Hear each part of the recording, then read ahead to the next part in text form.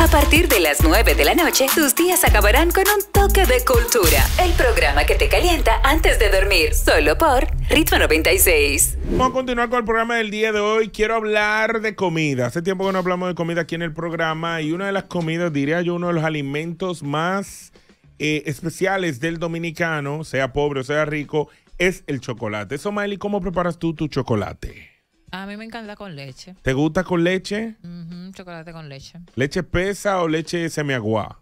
Eh, eso depende. ¿Sin grasa o con grasa? Depende. Todo lo mío qué? depende. ¿De qué? Como yo, me, como yo me sienta en el momento. Si yo me da por ay, que sea espeso, pues lo doy más ligero también. Lo que pasa es que hay diferentes tonalidades del chocolate. A ver, chocolate. Nosotros tenemos el chocolate de agua. Tenemos Ese me gusta en la mañana. Exactamente, que, pero ese pega como con pan de agua. Sí, exacto. como con pan sobao no pega. No. Nosotros tenemos el chocolate que es un poquito más aguadito, más que si yo qué, ¿verdad que sí? Y hay un chocolate que es como espeso. ¿Me entiendes? Que se usa una leche un poquito más fuerte para ese chocolate. Leche vaca. Y está el chocolate que se hace con avena. Ese también, mención especial el chocolate con avena. Entonces, el chocolate con avena, tú lo puedes preparar una avena con chocolate, que es una avena un poquito más espesa. Con ¿Cómo la así? No. Claro. La avena que tú le metes los pedacitos del pan para comértela. Ay, sí, muy buena. Exacto. Está bien, pero chocolate con avena es para hacerlo tú- más peso, ¿no? Eh, no, lo No, que no, pasa es que la avena con chocolate no es igual que el chocolate Chocolate con, con avena. avena. ¿Por El chocolate con avena es un chocolate que te lo sirven en una taza y al fondo del chocolate tú te encuentras los pedacitos O sea, de avena. La proporción de avena es menor. Exactamente. Y Si avena con chocolate, es más avena que chocolate. Usted, usted lo resumió exactamente No, cómo va. y ni siquiera espesa mucho con la avena. Con la maicena sí. Con la maicena lo evito. Ahí espesa un poquito más que Mi hermano, bueno, mire, sí. yo le voy a decir a usted la realidad. El chocolate que se prepara, porque obviamente la calidad de los ingredientes, como en todo, en todas las comidas, tiene un impacto. Pero mi hermano, el chocolate hecho en leche de vaca, con Eh, ese ajá. chocolate que son la bola de cacao amarga esa, ajá. que tú las rayas para echársela. Mi hermano, con nuez moscada. ¿Tú echas nuez moscada? Con, sí, con nuez moscada. Hay gente que le echa clavo. Hay gente que le echa, que, claro, hay gente que le echa clavo dulce, hay gente Canela. Que, le echa, que le echa malagueta. Malagueta. gente- la diablo. canela sí la lleva. Todos los chocolates llevan, mala- lle- lle- llevan canela. ¿Cómo la forma de la malagueta? La malagueta es la que es redondita. Es la redonda. La que nadie se come. La exacto, la clavo es Porque clavo. por lo menos el clavo dulce la gente lo chupa. ¿Y la estrella qué? Ay, a mí me Las encanta estrellas son otras. O sea, esas son especias secas. Ajá, ¿y qué es eso? ¿Cómo se llama? Eh, esa estrella le dicen estrella realmente. Tengo que buscar ¿No ver cómo es. No, no es lo mismo. A mí me No encanta chupar la malagueta y la, la canela. Ahora, Eh, cuando el clima está medio frito, especialmente en los campos de la zona norte, que es donde se, donde se, donde se enfría más, yo te puedo decir a ti que ese chocolate con jengibre, mi hermano, Ey, mire, el final. olvídese de eso que ahí separaron las aguas. ¡Guay! Te voy a decir una vaina. La mayoría de nosotros no sabemos hacer chocolate. Porque Mala de ustedes. depende del chocolate. Hay una marca que todo el mundo consume, ¿verdad? ¿Cómo que depende del chocolate? Oye, lo que pasa, Adelante. cuando tú ves las películas gringas, tú notas que el chocolate, chocolate es espeso. Ellos no usan maicena. ¿Me entiendes? Ajá. Ellos hacen un chocolate con leche y ellos le echan, no son tablas de chocolate, venden un chocolate especial que es para hacer chocolate, de verdad. ¿Verdad? Valga la redundancia. Porque hay un chocolate que es Yo una marca muy conocida. Oye, oye, hay una marca muy conocida de chocolate. Tablas de chocolate. Ajá. Ese chocolate, si tú lo notas, polvoriento. Es como polvo. ¿Tú lo has notado o no? No. Sí, ¿Tú no lo has notado? La cocoa. Lo que pasa es que la Es que cocoa está, es que- ah, pero que no- el, el- el que viene en tableta no es. Eh, Es como polvoriento. Si tú lo majas, es como que tú sientes que es un polvo comprimido. Hay unas tablas de chocolate que es chocolate puro, que cuando tú lo muerdes, tú notas que es como un chocolate de eso, el chiván y Bamba- mierda. ajá, ajá. Entonces, depende del que tú utilices, por ejemplo, como él dice, de que la cocoa, yo lo que hago es que yo preparo, por ejemplo, mi tabla de chocolate, entonces le echo como 300 cucharadas de cocoa para que quede un chocolate negro lo que pasa y es que. súper espeso con Johan, leche. Para darte un paréntesis rápidamente, mira, lo busqué aquí rápido. La diferencia entre, entre el chocolate y la cocoa radica en su origen. El cacao es natural, que son la bola esa Ajá. amarga que venden en los mercados y en los campos, que así es que lo consumen todavía. La cocoa es un subproducto obtenido del cacao de carácter industrial. El chocolate es uno de los productos que se pueden obtener a partir de la cacao, del, del cacao y la cocoa. ¿Qué pasa? El chocolate ese que nosotros no tomamos, ¿verdad? No, yo antes. Tú lo puedes hacer tanto con cocoa, pero te voy a decir algo, Joan. Adelante. Esa leche que tú, con- que tú compras en cartón, por lo general, no quiero cerrarme a marcas, obviamente, porque no, no nos A mí conviene. me encantan esa leche. Sí, no Ah. son malas, pero lamentablemente tú no puedes comparar la calidad de esa leche que si tú te vas a los Nutrition Facts Oh o valores de nutrición de esa leche, que tienen un porcentaje de leche tal y un porcentaje de ¿Y agua. cuál es el porcentaje tal, tal. de leche que necesito para este chocolate? Mi amor, tú, sí, mira, mi hermana, yo le voy a decir la realidad. El mejor chocolate que usted puede cocinar. Tú no entendiste, Oh. Erika. Sí, tú entendiste. Mierda, de verdad, me perdí.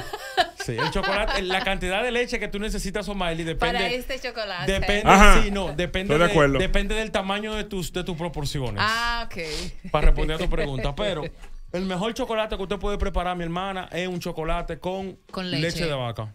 Ey, Sí, pero yo no voy a conseguir. buenísimo, de verdad, de eh, verdad, eh, buenísimo. yo no voy a conseguir leche vaca donde sea. Mientras tanto, podemos utilizar la cocoa con el chocolate. Lo que está a disposición, lo más fácil. O- o sea. Claro, Ok, eh, porque- cosa, cosa que tú puedes obtener, tú te puedes comprar la tabla de chocolate esa de la marca famosa de aquí. No, no, no. La otra marca, la que es roja.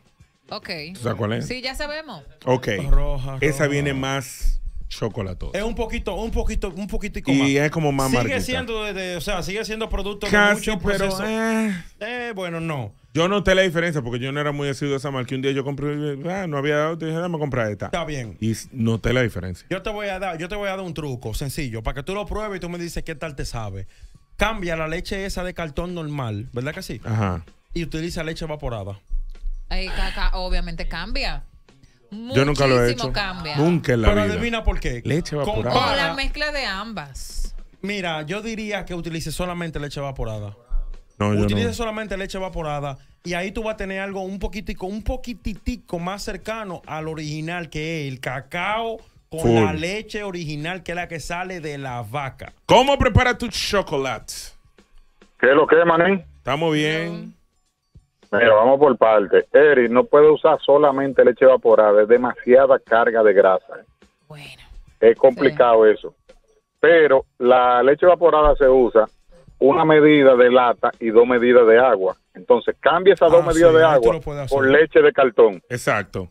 Que es casi agua, pero cámbiala por leche de cartón de la entera, de la que de la que viene en el cartón. Oye, las tres rojos que hay, las tres son buenas, los cartones. Como dice Joan, el No, chocolate bueno, de la marca roja Ajá. es mejor que el chocolate de la otra marca. Yeah, ¿Es right. verdad? Pero para tú hacer chocolate, Joan, oye, cógete este truco, te voy a dar mi receta. Dame el truco. Y, oye, tú, como te dije, una lata de leche evaporada y de esa misma medida de leche, la, dos latas de leche entera. No importa la cantidad que tú vayas a hacer, pero Ujú. esa medida. Ok. Coge el chocolate de la marca roja, pero no las tablas, el que viene en polvo. Sí, yo sé, yo sé cuál es. Y tú lo pones al, al- a la densidad y el color que te guste. No te pase mucho, porque como sea, hay mucho, mucho polvo de Sí, chocolate. sí, sí, sí, sí. Ay, Si te gustan las especias, le tira canela. Me gusta más la canela. Mala- ma- malagueta, nada más tírale tres bolitas a una olla. ¿Por qué? Eso es Porque la malagueta, sí, la malagueta es prima de la pimienta. Sí, sí, en sí. realidad se usa para hacer eh, comida salada. Y a la Claro. dulce, tú nada más tiras tres o cuatro bolitas, no ese viaje de malagueta. Sí, es que a eso me le gusta chuparla, eh. Exacto. Ah, bueno, eso, eso está muy bien porque son bolitas. Ujú. A ella le gusta chupar la Y, bola.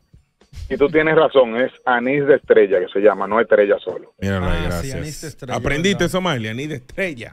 Ni yo mismo, ni yo mismo ¿Cómo lo conozco. ¿Cómo preparas tú tu chocolate? Yo no sé por qué el dominicano prepara el chocolate con agua. Eso es lo que yo nunca he entendido. Obviamente sé que mi padre me bueno enseña. con agua. No, no, claro que sabe bueno con con agua. No te escucha. Sabe buenísimo. con- Pégate de mí. ¿Tú quieres que A te- mí me gusta el chocolate con agua, pues no tolero la leche. El chocolate no va a- ¿No te gusta la leche? No, no me gusta la leche. tú ¿Tú quieres que eres, te tú eres intolerante? ¿Es verdad? ¿Real, real? Pues tú no comes queso. Real. Pero, o sea, como queso y yo directo para el baño que voy. Ah, no sabía. Mira. Buenas. Espérate, dame esta llamada. Dime. Hola. Hola, Hola. cuéntame. Chocolateame. Eh, bueno, el chocolate y yo somos fieles amigos porque eso me recuerda mucho a mi infancia, entonces eso está muy presente en mi vida. Yo básicamente desayuno esto todos los días. El diablo. Pero yo soy una persona que cuando despierta, lo primero que hace es desayunar, entonces a mí me da mucha hambre y trato de hacerlo lo más eficiente posible. Entonces, cuando es con leche, yo lo que hago es que pongo en una taza, lo pongo en el microondas un minuto y medio le echo cocoa, como tres cucharadas, y le pongo un poco de sal. Porque como ya la, la cocoa tiene azúcar, entonces le pongo un poquito de sal. Ah. Los días que me esmero más, entonces le pongo un poquito de jengibre en polvo y canela en polvo. Muy bien. Ah, ya. Y ya. Dura. Entonces, cuando es con agua, Ajá. yo los hago los fines de semana. Y los fines de semana, entonces, ya con agua, mi papá me enseñó a mí que el- las tablas de chocolate, primero, dejarlas como desbaratar con un poquito de agua y canela. Eh, para Porque si no Absorba. hace con mucha agua, es más difícil que se, se, se deshaga. Sí, sí. Y ya después, cuando se deshace, que se hace básicamente un sirope de chocolate, entonces ya- se le echa el agua que se le vaya a poner y los otros ingredientes. Ah, pues gracias por ese tip, mi amor. Chocolatada. 809-531-9650. ¿Cómo preparas tú el chocolate? ¿Te gusta chupar las bolas de malagueta? Dime. Sí, sí. Saludos, buenas. Cuéntame buenas. tú. Buenas noches, Joan, gente. Dímelo. Bueno, mira, en mi casa se hace chocolate hasta tres veces al día. En mi casa todo el mundo come chocolate, pero pero mira qué cosa. ¿Qué pasó? Según mami, cuando, cuando yo era bebé, y que cuando ella me clava la leche con la chocolina, dice que me daba náusea y vómito. Chocolina, yo wow. tengo 30 años, yo nunca he podido probar el chocolate. Mm. Sin embargo, mi hermana, mi papá, mi abuela, todo el mundo se sienta a comer pan con chocolate toda la noche. Para que tú veas. Y yo nada más lo veo desde lejos, eh, así, así comiéndose ellos su chocolate. Pero, pero es nada, ni hay una chocolate malteada, chocolate de que, de que Mickey Way, nada de esa vaina, nada. ¿Cómo eres no puedo comer nada de eso porque, porque que- que hasta me da náusea. ¿Y tu felicidad de dónde viene? yo no sé de dónde viene, porque Ah. tampoco el café. ¿Qué demonio, mijo? ¿Pero qué, y qué tú haces vive en la tierra? no. Por mami también, por, por mami también, de que, que, de que, que cuando ella estaba preñada de mí, de que se le dieron un, un- con una vaina en un café, que por poquito pierde la barriga, y que si yo qué, y ya, y ya nadie toma café en mi casa tampoco. Ah, bueno, pues ¿Tú ya. Gracias. Tú sabes que este eh, olvidé lo que iba a decir, en verdad, porque me puse a pe- pendiente al chisme, No, no, aparte. porque me puse a pensar en algo de la película. Hoy A en ver. día, yo creo que la principal limitación que tenemos con los chocolates que nosotros recordamos de nuestra niñez. Ridícula. Y si nos vamos al tema, también No podemos hablar hasta de la técnica de preparación de los mismos. Si ustedes quieren, Sí, claro. nada más es si ustedes quieren. ¿eh? El chocolate, chocolate. Dime chocolate. Dale, chocolate. No, que soy Mi, prieto, mi eh. madre tenía un perro que se llamaba Chocolate. La, vuelta es que, Ajá. obviamente, las técnicas de preparación, porque todo a la leña sabe mejor. Sí, claro, Lo puedo claro. confirmar. Cocinar la leña el fin de semana, mi hermano, y me acordé por qué cocinar la leña al No, final. cuando yo doy leña, muchachos, al Olvídese final. de eso, ¿no? Y dar leña es ¿Y lo cómo mejor se que baja el hay. fuego en la leña? Somali, ¿Se ¿te, saca la gusta, leña? te- te gusta dar leña? Claro. Yo cojo mi leña. Claro. Porque, eh, claro, en el campo. Eh, claro, buenísima. Y cuando tú ¿En el haciendo- campo? Sí, cuando tú estás haciendo arepa, que eso es fuego por arriba y Fu- fuego, fuego por por- abajo. claro, que tú le pones Es la leña por arriba y después se la pones por abajo ¿Te comes la arepa en el campo? Yo me como la arepa. Ella tiene su arepa. ¿Y tú has preparado arepa, Somaili? Yo, claro. ¿Y te han comido la arepa? Me, sí, Para algo la prepara, para que se la coma. Para ¿Pero que se la coma. hacer, ¿Y te encanta cuando se comen tu arepa, claro, porque tengo buenos reviews.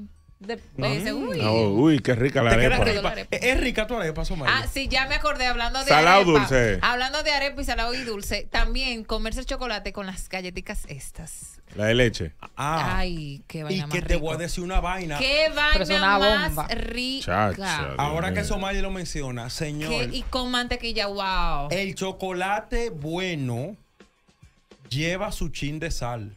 Sí, sí, Ah, sí. sí, lleva sí. sal, A mí lleva siempre se me olvida, pero La en verdad. lleva. De verdad. Lleva su chin de sal. Chocolate con Ahora, un consejo a los oyentes: no espere usted obtener un chocolate igual, tanto de la cocoa Ajá. como del chocolate de verdad. No lo Mm. espere. Porque lamentablemente tú le puedes echar el pote de cocoa entero. Ajá. Y no hay forma de obtener el mismo producto porque lamentablemente la cocoa, como lo mencioné anteriormente, la cocoa viene siendo una derivación, subproducto del chocolate Le original. echo más, le más cocoa. Claro que sí. a Por, un chorrito de leche. por eso es que hay tigres que le dicen que le gustan naturales. Ok. Hecha y natural. Pues nada, gracias a todos los que llamaron y nos contaron la historia del chocolate. Venimos con más luego de la pausa aquí en Cultura Radio por Ritmo 96. No te muevas. Calentando tus noches.